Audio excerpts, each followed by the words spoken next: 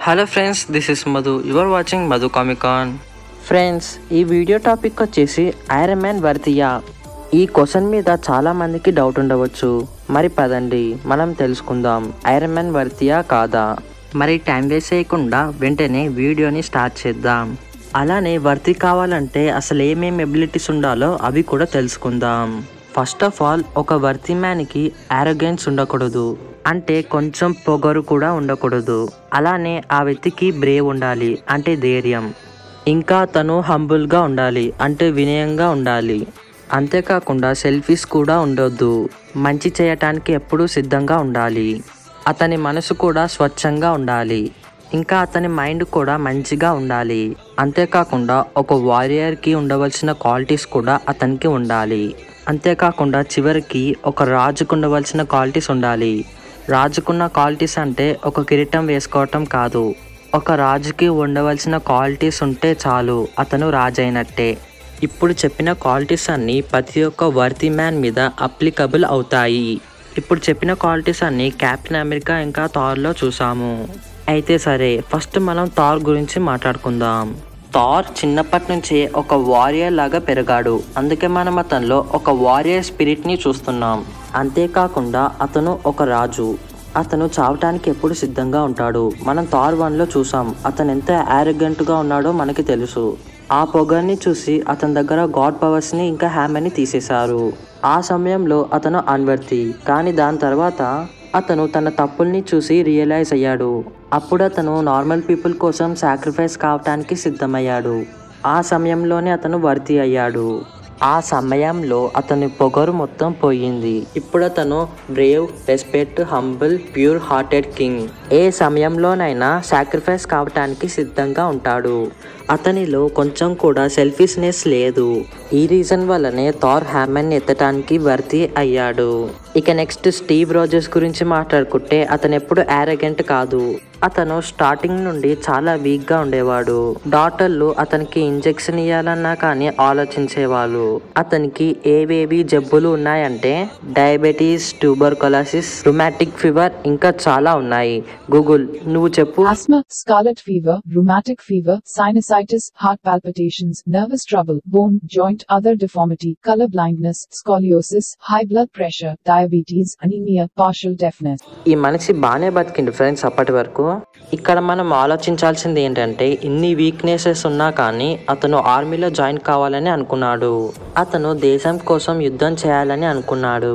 ఇది మనకి చూపిస్తుంది అతని బ్రేవ్ ఇంకా వారియర్ స్పిరిట్ని సరే ఫ్రెండ్స్ మీకు ఒక చిన్న ఎగ్జాంపుల్ చెప్తాను. అయితే ఆర్మీ క్యాంప్లో ఒక గ్రానైట్ పడుతుంది. ఆ సమయంలో స్టీఫ్ దాని మీదకి వచ్చి పడతాడు వేరే వాళ్ళని కాపాడటానికి. ఈ వన్ ఎగ్జాంపుల్ చాలు. అతను సూపర్ సోల్జర్ కాకముందు నుంచే వర్తి అని. అతను సూపర్ సోల్జర్ కాకముందు నుంచే అతను సాక్రిఫైస్ చేయడానికి వెనకడుగు వేయలేదు. అది అతని దేశం కోసం కావచ్చు ప్రజల కోసం కావచ్చు.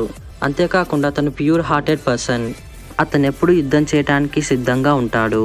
అయితే ఇక్కడ క్వశ్చన్ ఏంటంటే ఏజ్ ఆఫ్ ఆల్టోన్ మూవీలో కెప్టెన్ ఎందుకని వర్తి కాదు. చాలామంది ఏమన్నారంటే అతను అప్పుడు కూడా వర్తియే కానీ థార్కి చూపించకూడదని అలా చేశాడని చెప్పారు. కానీ అది నా దృష్టిలో తప్పు. ఎందుకంటే క్యాప్టెన్ వర్తి కావచ్చు కానీ థార్ హ్యామన్ ఎత్తటానికి అర్హుడు కాదు. ఎందుకంటే స్టీవ్ టోనీ జీవితానికి చెందిన పెద్ద విషయాన్ని దాచాడు కేవలం తన ఫ్రెండ్ని కాపాడటానికి. ఎందుకంటే టోనీ వాళ్ళ పేరెంట్స్ని తన ఫ్రెండ్ బక్కీయే చంపేశాడు. ఇక్కడ కెప్టెన్ తన ప్రజల్ని కాపాడటానికి అబద్ధం చెప్పలేదు. కేవలం తన ఫ్రెండ్ని కాపాడటానికి ట్రై చేశాడు. ఈ రీజన్ వల్లనే అతను వర్తీ కాలేదు. కానీ ఎప్పుడైతే ఇదంతా క్లియర్ అయిపోయిందో సివిల్ వార్లో అప్పుడు అతను వర్తీ అయ్యాడు. ఇప్పుడు మీకు అర్థమైంది అనుకుంటా థార్ హ్యామన్ ఎత్తాలంటే వర్తినేసే కాదు. అర్హత కూడా ఉండాలి. కానీ ఈ వీడియో టాపిక్ ఇది కాదు. మనం తెలుసుకోవాల్సింది ఐరన్ మ్యాన్. అదే టోనీ స్టార్క్ వర్తియా కాదా? దీనికోసం మనం టోనీ యొక్క జీవితం మొత్తాన్ని చదవాల్సి ఉంటుంది. అయితే టోనీ స్టార్కి స్టార్టింగ్లో బ్రేవ్ తప్ప ఇంకే క్వాలిటీస్ కూడా లేవు. అతను ఎప్పుడు తన గురించే ఆలోచించేవాడు తన ప్రాఫిట్ కోసమే ఆలోచించేవాడు. ఇవన్నిటికన్నా అతను ఒక పెద్ద ఆరోగెంట్ బిజినెస్ మ్యాన్ అతనుకున్న యాటిట్యూడ్ ఏ లెవెల్లో ఉంటుందో మనకి తెలుసు కదా. కానీ మనందరం ఈ యాటిట్యూడ్నే చూసి ఈ క్వాలిటీస్నే చూసి అతనికి ఒక పెద్ద ఫ్యాన్ అయిపోయాం. ఒకవేళ టోనీ స్టాక్ యాటిట్యూడ్ని స్టార్టింగ్ నుంచి మనకి ఈ విధంగా చూపించకపోయి ఉంటే మనందరం ఇంతగా టోనీ స్టాక్ క్యారెక్టర్కి కనెక్ట్ కాలేకపోవచ్చు. కానీ మనందరం ఈ విషయం కూడా గుర్తుపెట్టుకోవాలి. ఐరన్ మ్యాన్ వన్ నుంచి అవెంజర్స్ ఎండ్ గేమ్ వరకు టోనీ యొక్క యాటిట్యూడ్ అనేది చాలా చాలా చేంజ్ అయింది. అతనిలో ఫస్ట్ మార్పు ఏంటంటే అతని వల్లనే చాలా మంది అమాయకులు దారుణంగా చనిపోయారని తెలుసుకొని వెపన్స్ని క్రియేట్ చేయటం ఆపేశాడు. ఎందుకంటే ప్రజల యొక్క తప్పు ఏమీ లేదు. అలానే కొంచెం కొంచెంగా అతని యొక్క క్యారెక్టర్లో కూడా మార్పులు వచ్చాయి. అయితే ఈ ప్రపంచాన్ని కాపాడటానికి అవెంజర్స్ వన్ మూవీలో అతను సాక్రిఫైస్ చేయడానికి వెళ్ళాడు. అతను మెల్లమెల్లగా ప్యూర్ హార్టెడ్ పర్సన్ లాగా కూడా అయ్యాడు. అంతేకాకుండా చాలా మందికి చదువు ఫ్రీగా ఇచ్చాడు. ఇంకా చాలా స్కాలర్షిప్స్ కూడా ఇచ్చాడు. అలానే కొంచెం కొంచెంగా ఒక వారియర్ లాగా కూడా అయ్యాడు. ఒక మంచి లీడర్ లాగా కూడా అయ్యాడు. అతను ఈ ప్రపంచాన్ని మొత్తాన్ని కాపాడటానికి ఎన్నో విధాలుగా ట్రై చేశాడు. ఈ విధంగానే అతను ఆల్ట్రాని క్రియేట్ చేశాడు. కానీ దీని వల్ల వచ్చే పరిణామాన్ని అతను ఆలోచించలేదు. ఈ రీజన్ వల్లనే అతను ఏజ్ ఆఫ్ ఆల్టాన్ టైంలో భర్తీ కాలేదు. అంతేకాకుండా అతని పాస్ట్లో అతని నెగ్లిజెన్స్ వల్ల చాలామందిని చెడ్డవాళ్ళుగా చేశాడు. ఇంకా ఇలాంటి విషయాలు మనకి తెలియదు. మళ్ళీ సివిల్ వార్ నుంచి ఎండ్ గేమ్ వరకు మనకి కొన్ని విషయాలు తెలిసాయి. అలానే సివిల్ వార్ నుంచి ఎండ్ గేమ్ వరకు అతని యొక్క క్యారెక్టర్ చాలా చాలా చేంజ్ అయింది. అతను ఇంతకు ముందున్నట్టుగా కేర్లెస్గా లేడు. అతను తన ఫ్యామిలీ కోసం ఆలోచించేటట్టుగా అయ్యాడు. అంతేకాకుండా తన ప్రజల కోసం కూడా ఆలోచించేటట్టుగా అయ్యాడు. కానీ ఇంత చేంజ్ అయినా కానీ అవెంజర్స్ ఎండ్ గేమ్లో స్నాప్ చేసే ముందల వరకు అతను వర్తి కాలేదు. ఎందుకంటే కెప్టెన్ అతన్ని హెల్ప్ చేయమని ఇంటి దగ్గరకు వచ్చినప్పుడు అతను రిజెక్ట్ చేశాడు. కేవలం తన ఫ్యామిలీ కోసం. కానీ పీటా పాకర్ ఇంకా చాలా మంది తిరిగి వస్తారని అతను సీక్రెట్గా టైం ట్రావెల్ని తయారు చేశాడు. అప్పుడు టోనీ తన ఫ్యామిలీకి చెప్పి కెప్టెన్కి ఇంకా అవెంజర్స్ అందరికీ హెల్ప్ చేయడానికి వెళ్ళిపోతాడు. అక్కడికి వెళ్ళాక కెప్టెన్కి తన సీల్ని తిరిగి ఇచ్చేస్తాడు. ఎందుకంటే అతను గతంలో ఒక తప్పు చేశాడు. మళ్ళీ కెప్టెన్కి ఆ సీల్ ఇచ్చేసి తన తప్పుని సరిదిద్దాడు. దీని తర్వాత అవెంజర్స్కి హెల్ప్ చేయడానికి వెళ్ళాడు. మరి ఇక్కడ క్వశ్చన్ ఏంటంటే ఇంత చేసినా కానీ అతను వర్తి అయ్యాడా?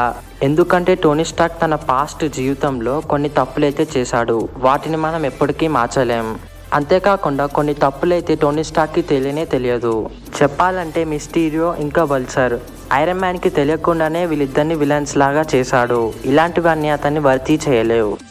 కానీ టోనీ ఎప్పుడైతే ఈ విధంగా ఆలోచించాడో ఆ ఇన్ఫినిటీ గాంట్లెట్ పట్టుకొని స్నాప్ చేయాలని ఆ క్షణంలో అతను భర్తీ అయ్యాడు. ఎందుకంటే ఆ క్షణంలో టోనీ స్టాక్ తన లైఫ్ని సాక్రిఫైస్ చేయడానికి రెడీ అయ్యాడు. మరి టూ థౌజండ్ ట్వెల్వ్లో కూడా అతను తన లైఫ్ని సాక్రిఫైస్ చేయడానికి వెళ్ళాడు కదా. మరి ఎందుకని వర్తీ కాలేదు? ఎందుకంటే అప్పుడు అతను పోగొట్టుకోనికి ఏదీ లేదు. అతని దగ్గర చాలా డబ్బులు ఉండవచ్చు. అతని దగ్గర పెద్ద కంపెనీ ఉండవచ్చు. కానీ అవి ఏవి అతని సొంతమైనవి కావు. కాబట్టి అప్పుడు అతనికి కోల్పోవటానికి ఏది లేదు. అప్పటికి అతనికి ఫ్యామిలీ లేదు రిలేషన్షిప్ లేదు అతని కూతురు లేదు. కానీ ఎండ్ గేమ్లో అతనికంటూ ఒక సొంత ఫ్యామిలీ ఉంది తన కూతురు ఉంది. అయినా కానీ అతను సాక్రిఫైస్ చేశాడు. ఎందుకంటే అతనికి తెలుసు ఈ లోకం థానోస్ లేకపోతే చాలా హ్యాపీగా ఉంటుంది. అతని ఫ్యామిలీ హ్యాపీగా బతుకుతుంది. మళ్ళీ ఈ ప్రపంచంలో ఉన్న వాళ్ళందరూ వాళ్ళ యొక్క ఫ్యామిలీతో హ్యాపీగా కలిసి కట్టుగా సంతోషంగా ఉంటారు. ఈ రీజన్ వల్లనే టోనీ స్టాక్ స్నాప్ చేయాలనే ఆలోచన వచ్చిన తర్వాత వర్తి అయ్యాడు. కానీ ఒక విషయం నేను చెప్పాలనుకుంటున్నాను. టోనీ స్టాక్ వర్తి అయినా కాకపోయినా అతను ఎప్పుడు మన జీవితంలో అలానే ఉండిపోతాడు. We miss you forever and we love you three thousand times thanks for watching